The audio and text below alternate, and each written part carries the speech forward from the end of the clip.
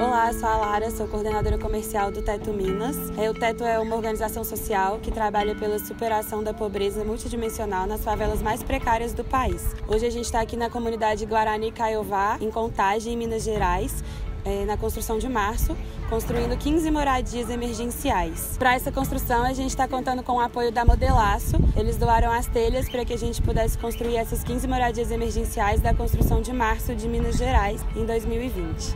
Valeu!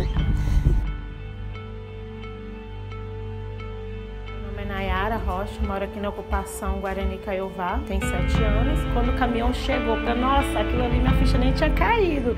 Eu olhava assim, gente, é muito é coisa assim que vem da alma, né? Um sentimento de gratidão que vem da alma. Então, quando eu já vi aquela muvuca vindo outra semana, já, já pegando uns pega ali, pega aqui, cava ali e suspendendo as casas, assim, eu fui assim de casas de moradores assim e vi como é que é lindo, como é que é gratificante. Então é com todo amor que a gente recebeu eles aqui.